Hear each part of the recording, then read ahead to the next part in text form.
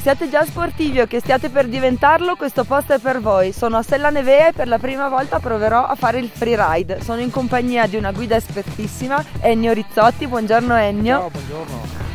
Sella Nevea è un polo transfrontaliero tra il Friuli Venezia Giulia e la Slovenia. Si può sciare infatti su entrambi i versanti del Monte Canini. Meta prediletta per gli amanti del freeride, grazie ai tantissimi percorsi fuori pista e di tanti altri sport estremi come il parapendio e lo speedfly, questa località è nota per lo sci alpinismo. Ennio, quali sono le cose più importanti da sapere quando ci si approccia per la prima volta a questa disciplina? Bah, innanzitutto il freeride, eh, lo dice la parola stessa, è andare in ambiente nevato in totale libertà, per cui seguire questi itinerari sci fuori pista eh, sia in salita che in discesa, avendo una cognizione totale di quella che è la neve, ma soprattutto sapendo affrontare la neve proprio nelle sue molteplici situazioni. Quello che è importante è che il freeride comunque è sempre uno sci fuori pista e va affrontato con una buona buona condizione sciistica ma soprattutto anche una buona condizione di sicurezza. Bisogna conoscere bene la, la nivologia anche, per cui conoscere la neve se ci sono delle condizioni di sicurezza.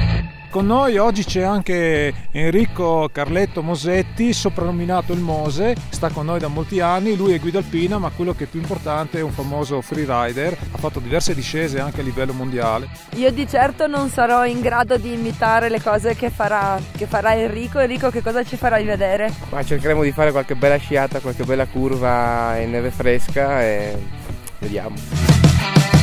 È il mio esordio sulla neve polverosa. Oltre ad avere uno sci dedicato, molto più largo dei tradizionali sci da discesa, che permette di galleggiare sulla neve fresca e a cui mi devo abituare, anche la posizione del corpo e il movimento vanno adeguati. Sono un po' intimorita, ma la presenza di ben due guide alpine come Ennio ed Enrico mi dà sicurezza. Il freeride si impara per gradi, ma anche una principiante come me può praticare questa disciplina, a patto che si faccia accompagnare da maestri o guide.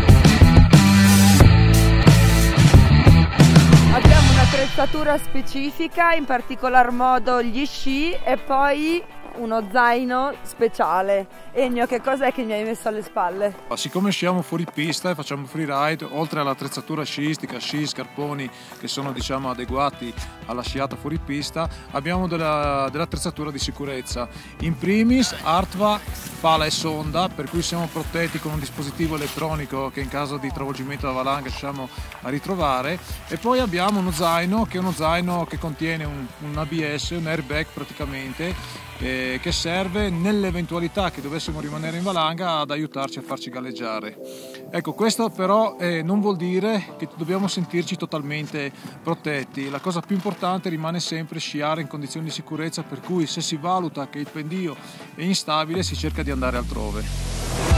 Noto la passione e la gioia di chi pratica freeride e questo mi invoglia a continuare. Sono certa, non sarà l'ultima volta in neve fresca se la nevea. Se pensate che in un parco avventura ci si possa divertire solo l'estate vi sbagliate perché qui a Stella Nevea il parco avventura è aperto anche d'inverno, anche con la neve. Sono in compagnia di Ivano e Samuele che gestiscono questo parco avventura. Buongiorno Ivano, buongiorno Samuele. Ciao, buongiorno Maria. Che cos'è innanzitutto un parco avventura? Il parco avventura è un'attività che si fa intanto all'aria aperta aperta sugli alberi ed è molto educativo perché si impara ad utilizzare l'imbragatura, si impara a utilizzare i moschettoni e tutte quelle che sono le attrezzature per affrontare un percorso in montagna. Un po' di coraggio e si lancia. E... Possiamo andare. Esatto, partiamo.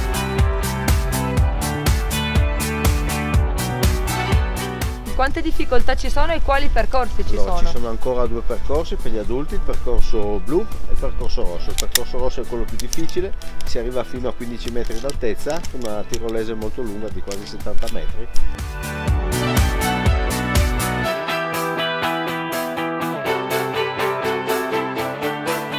La mia emozionante giornata a Sella Nevea è finita, mi sono divertita davvero un mondo, ho provato delle cose nuove, ma adesso è il vostro turno. Siete pronti? A voi!